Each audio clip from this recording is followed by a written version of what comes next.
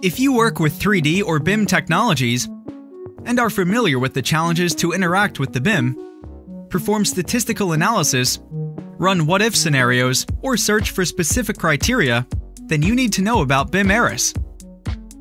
BIM ARAS is a tool designed to analyze a BIM, providing functionality to calculate things like BIM compliance with project scope, validating technical characteristics, performing cost estimates, and monitoring of QA and QC. A key objective of BIM ARAS is to empower stakeholders to intuitively play and evaluate a BIM. Additionally, it promotes teamwork by allowing project participants to analyze, evaluate, and share information about the spaces in the BIM. Owners, architects, engineers, designers, project administrators, and construction professionals are among the key stakeholders who will benefit from BIM ARAS. Does the BIM reflect the project idea?